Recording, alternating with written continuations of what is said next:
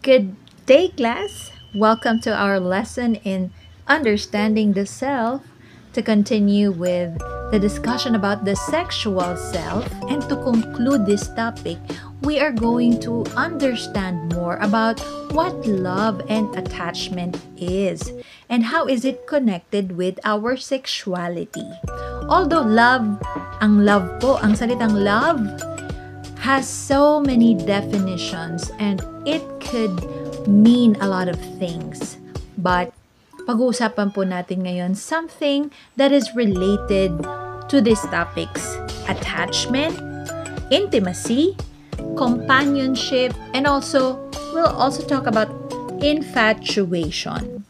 So, according to studies, ito po ay nararanasan and is part of being a human.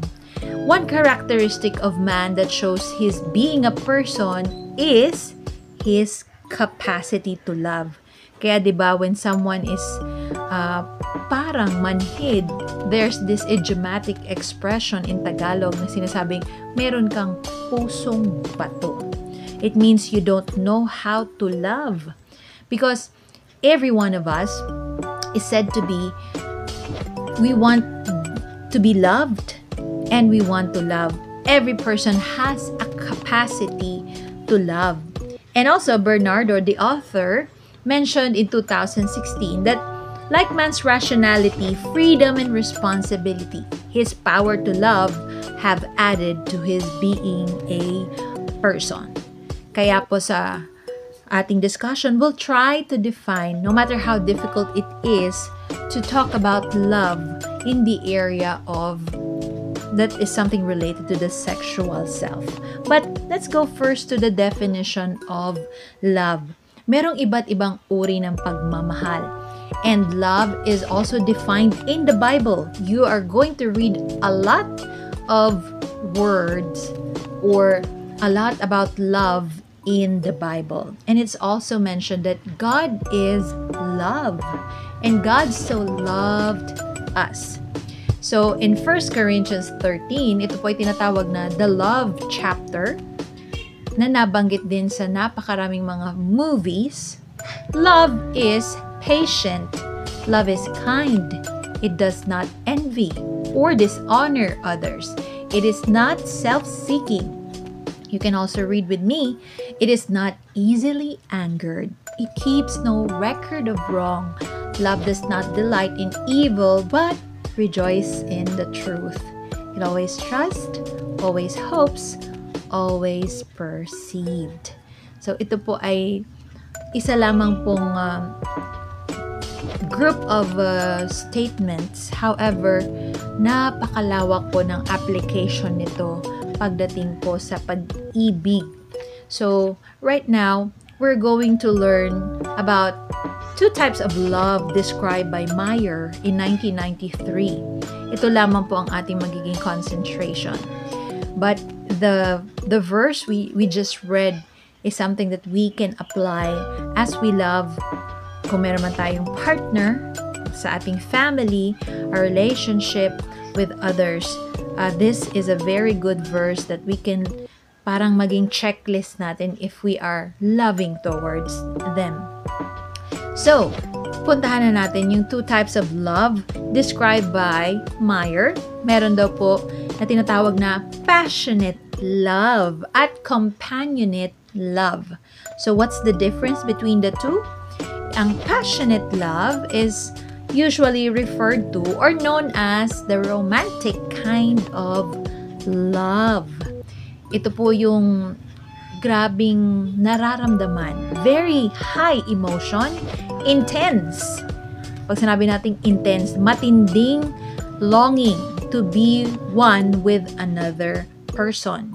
It's usually accompanied with feeling of ecstatic, para kang sobrang saya, ecstatic, tenderness, and elation. Yung meron ngang quotation na nagsasabing, paano mo daw masasabing in love ang isang tao kapag siya ay nakangiti habang siya ay naghuhugas ng pinggan. Yung mga ordinary things na kanyang ginagawa seems to be extra special and that person seems to be extra happy. So, may dahilan po yun. Pwedeng that person is experiencing this passionate love. And love includes even physiological arousal like increased heartbeat. Baka meron din kasamang blushing, pag-perspire, feeling of intense excitement. And in passionate love, people often overlook faults and flaws and shortcomings and try to avoid conflicts. Kaya sa stage na ito, usually po ito ay nangyayari or tinatawag na honeymoon stage wherein you just um, you're in the early stage of falling in love and it's typically common in the early stage of a relationship with a partner you do not fully know yet. So, ito pong passionate love, according to Meyer, is generally short-lived. Naglalas lang po ito ng ilang mga, ilang buwan. Okay? So, bakit kaya? So, sabi sa reason why it doesn't last that long because nasa ano ka lang, nasa emotional high and you don't fully know you're not fully aware of the person's true character. But, kapag uh, yun nga tinatawag na familiarity at mas nakikilala mo na yung isang tao, dun sometimes pumapasok yung malamang baka ay disillusion ka lang or sometimes frustration set in when you see already some flaws and uh, you have already some conflicts with the person. The next type of love is called the companionate love. So according to Cooks, ito naman pong companionate or compassionate love ay mas less intense ang feeling than the passionate love. And it is characterized, take note, by friendly affection and a deep caring attachment based on familiarity of the loved one. So dito naman, the more you know the person, the more you're comfortable, the more you are familiar with the person, you develop you have developed this friendly affection and deep caring attachment. And again, going back to Meyer, ang companionate love is the affection a person feels for those with whom their lives are intertwined. So, let's say you also feel this with a partner. Uh, meron kang tolerance for the partner's shortcomings. May tolerance ka na sa mga flaws niya and weaknesses niya. And the companionate love involves commitment and nurturing of the partnership. At sinasabing ang companionate kind of love is more enduring and lasting than the passionate love. And here, there's an illustration that you can also uh, check itong idea ni Robert Sternberg sa social psychology na ang love daw could be illustrated in a triarchic dimension. So, dito sa triangle na ito, makikita natin ang tatlong mga basic component of love according to Sternberg. Yung passion, intimacy, and commitment. So, ano ba ang passion? What's the role of passion? Sabi ni Sternberg, passion is the motivational component that ignite romantic feelings, physical attraction, and desire for sexual interaction. So, the passion inside of you, yun daw yung nagkikreate ng deeper desire to be together with the person or the object or the subject of your love. But, if it's a passionate uh, love, it could sometimes be compared to addiction. Kaya pala may kanta class about addict sa'yo because this passionate love, it's the effect on the person. Like when you wake up in the morning, before you close your eyes at night, lagi siya ang laman ng iyong isip. So, meron siyang parang, it's similar to a person who's addicted to something or to the person. So, meron siyang intense stimulation and satisfaction which induce powerful desire in a person. Intimacy naman is the emotional component of love that encompasses the sense of bonding with a person. It involves feeling of warmth, sharing, and emotional closeness. So ito yung keyword dito, yung emotional closeness. Intimacy, the closeness ng um, mo sa isang tao. Closeness physically, mentally, emotionally. You share the deepest darkest secrets of yours, very open ka, yung mga private feelings mo and thoughts to that person. And the next one is the commitment. This is the cognitive component of love and it pertains to the conscious decision to love someone and to remain in a relationship for long in spite of the difficulty or challenges it may entail. At sabi pa ni Sternberg na ang passion daw, it develops rapidly and intensely. But later on in the relationship, kailangan ng intimacy and commitment for the relationship to go on. And ito pong intimacy and commitment ay dapat patuloy na dinidevelop and it takes two to tango. So both must work on commitment and intimacy. So dito sa Sternberg's theory, it provides us a cognitive basis, parang yung idea, no, idreno niya lang sa atin. Kung ano nga ba or paano magta-transition yung passionate to companionate love. So as we observe kanina sa triangle, passionate love is only composed of romantic feelings, feelings, physical attraction. So nasa early stage yun. But Okay? Meron siyang rapid decline later on. So, as passion, um, yan, declines, meron dapat na to continue to grow into a relationship, may intimacy and commitment. Dito po na de-develop naman yung companionate love and commitment involves purposely investing in the relationship. Ano ba mga ini-invest natin? Yung time, yung emotion, uh, even mga self-sacrifices. So, regular, routine. Um, you are exclusive to the person you are committed to. There's a genuine closeness na hindi lang nakabase sa mood or emotion mo.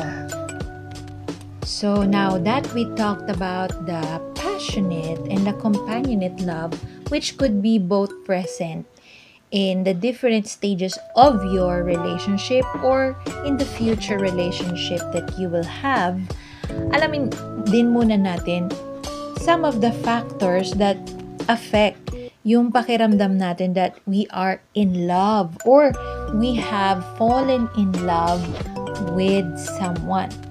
Well, ito po ay base lamang po sa studies and may not be exactly the reason or the factors why a person falls in love.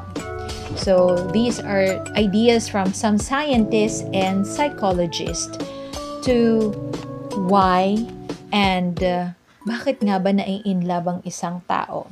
Although falling in love when and whom is actually a unexpl- an unexplainable matter sometimes and it's really quite complex but here are just few explanations or ideas which could help us uh, ma-determine if uh, tayo nga ba ay nai-in love na.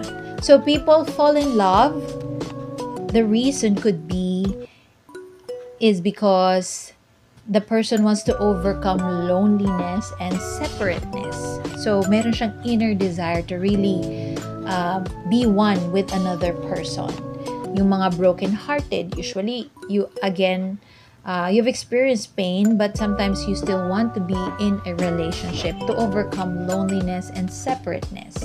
Next, people desire a form of union in the deepest um, it's a deepest need of a human person. Yung may sense of security when you have formed a union. And another one is people fall in love when they are in their own solitariness and they long for a refuge in union and in love. And love relationship is an aspect of a person's social network instead of a cure to one's loneliness. On the other hand po, ito naman ay nagiging form of pagiging social being ng isang tao. Okay, yung connecting with another person in a very deep and intimate way. People fall in love also or most often, okay, to a person na you sometimes do not expect to fall in love into. So, aalamin natin yung mga reasons or factors that could shed light kung bakit nga ba ako nagkagusto sa taong ito. So, here are just four reasons or factors that could shed light on this topic.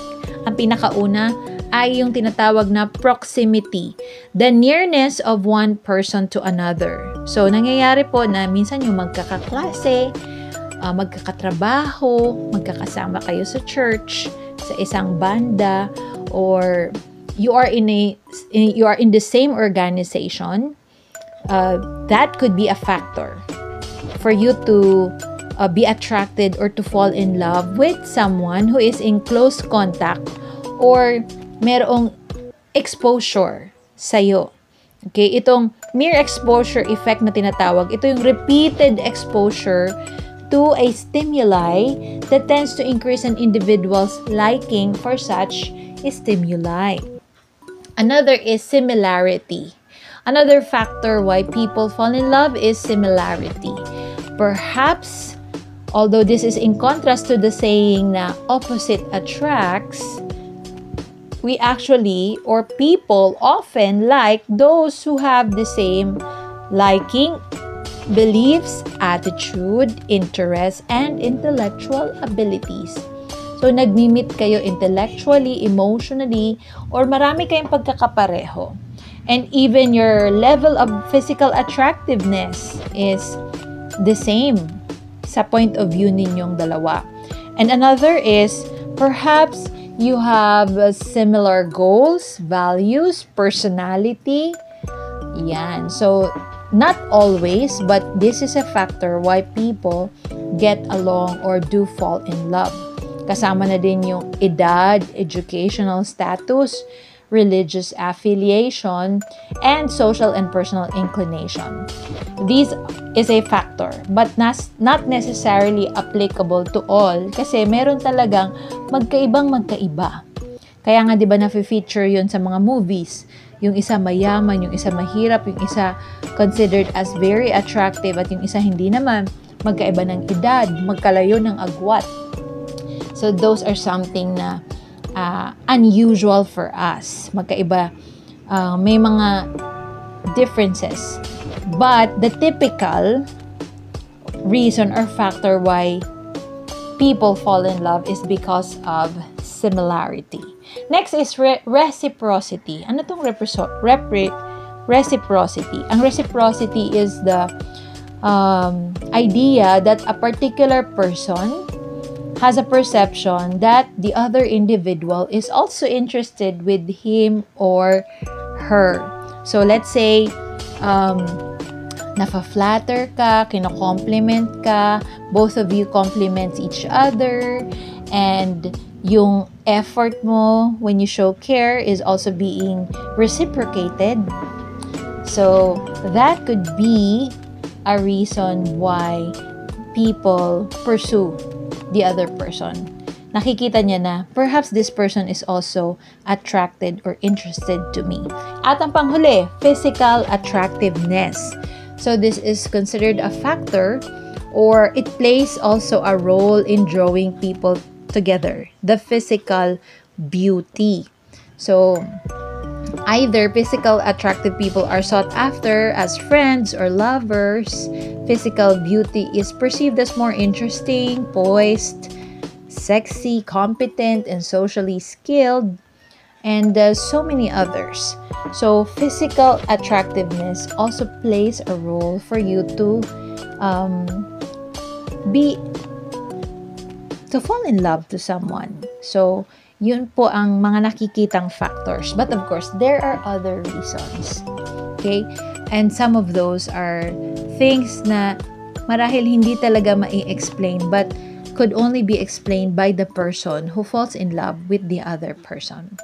So, itong tinatawag nating love and attachment. napakamahiwaga ng salitang love. But attachment is also close or ina-associate sa love because attachment means an intense bond that develops between two individuals. And it starts when we are just inside the tummy or inside the body of our parent. So, the love between our parents, uh, tayo po ay naging bunga ng pagmamahala ng ating mga magulang. That is, that attachment is rooted in infancy. So, according to uh, Sigmund Freud, infant becomes attached to the one who provides oral satisfaction. And to Erikson naman, physical comfort and sensitive care are keys to the establishment of trust and mistrust during the development of a person. So, nagsisimula pala sa infancy stage yung pagkakaroon ng um, security and attachment ng isang bata hanggang sa siya ay lumaki.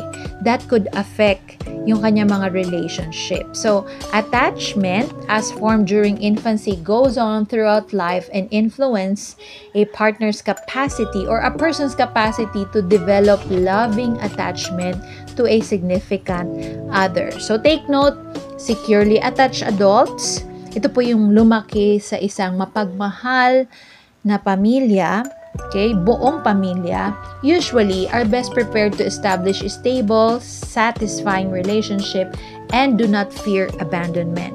Kasi isa sa mga effect po ng broken homes, broken families, ay yung merong insecurity and laging may fear of abandonment ang isang partner. So that is something that should be addressed in a relationship. So people uh, involved in a relationship with someone from a broken family, that person needs to be um, reassured uh, and also meron siyang fear of abandonment that needs to be addressed. Okay? So, napag-usapan naman natin itong uh, love, romantic, the passionate, and then the companionate love. You are now in the stage wherein you are looking and you want to experience this companionate love. And it starts with passionate love usually. But you do a lot of things ano, para makilala ang isang tao. At ang tawag po doon ay yung courtship or dating. And nowadays, it has different forms. So kayo po, sa pagtatapos ng ating lesson sa understanding the sexual self, ito po ay dapat nating tandaan dating is um, dapat tama. Dapat uh, alam natin kung why we are dating. So here are the different functions of dating for different people. Ang iba, dating is just for fun. Okay, a source of enjoyment. Ang iba naman, dating is a source of status and achievement. Kung ikaw yung tao na lagi na lang uh, pinagtatawanan tuwing malapit na ang December. So, kapag uh, you're excited to be dating or to be in a relationship with someone, for you to to tell your friends and those who know you that uh, you have achieved something. You are now in a relationship. You are now dating. So you are comparing yourselves to others. Na uh, that could be a sense of um, ligawin pala ako or I'm very attractive to be courted or para sagutin ako ng person na aking kinukort. So, dating is a source of status and achievement. Dating is also part of the socialization process. I remember an activity in college wherein uh, pinatry po kami to go to a friendly date in a youth camp para we will not be so curious about dating and we just eat dinner and we talk to the person um, yan, para lang ma-experience what it feels to be dating. So, it's a socialization process. And in dating, it involves learning about intimacy. It involves learning about the other person, what he or she likes, what are his or her strengths and weaknesses, ano ba ang mga bagay na makakapagpaganda or maaring makasira ng isang relationship. So, nasa dating or courtship stage po yon. And dating, for some people, ginagamit itong opportunity for sexual exploration. So, take note class, hindi ito nire-recommend natin that you explore and indulge yourself into premarital sex because it is a very crucial stage at napakahalagang maintindihan natin before we get ourselves involved to another person physically or sexually. So, dating, uh, for some, yun po ay opportunity for sexual exploration. But it's not, uh, I do not recommend that one. But, of course, yung compatibility mo with the person, you can always talk about that. But you have to really be very careful. Ang salita lang po, ang keyword lang dito ay maghintay ng tamang panahon. Next is dating can provide a chance for companionship through interaction and shared activities. Yung dati mag-isa ka lang, you now have someone to go out with, to go to this particular place na kailangan mo nang makakasama. Dating experiences contribute to identity formation and development. Depende sa naging experience mo, good or bad, that contributes to your identity and development. And next is dating can be mate sorting and selection. So, depende po ano sa inyong ma-experience during the courtship period wherein you will be seeing the person in a closer or at least mas makikilala mo yung tao during the dating period na masasabi mo am I going or you can ask yourself uh, am I going to spend the entire my entire lifetime with this person? Nakikita mo ba ang sarili mo na siya ang makakasama mo for the rest of your life? So, ito po pinag-usapan natin is something na very important. So, that's why this topic about the sexual self involves a lot of reflection. Pag-isipan, kasama na po ang mga relationships that we are part of. Particularly, yung ating pong mga uh, maaring maging future relationship with another person. So, this, uh, the sexual self forms a part of the building of our self-image, self-concept, attachment, intimacy, and sexual satisfaction. And these all plays essential roles in the formation of the self. So I hope that you learned something for our, from our discussion today at sana po ay mai-apply natin itong mga natutunan natin by being very careful and wise at pag-isipan natin yung mga bagay uh, napapasukan natin, lalo na yung mga relationships that we are trying to establish. So, ingatan ang puso at patuloy din tayong matuto pa on how we can learn more about ourselves. Thanks for watching!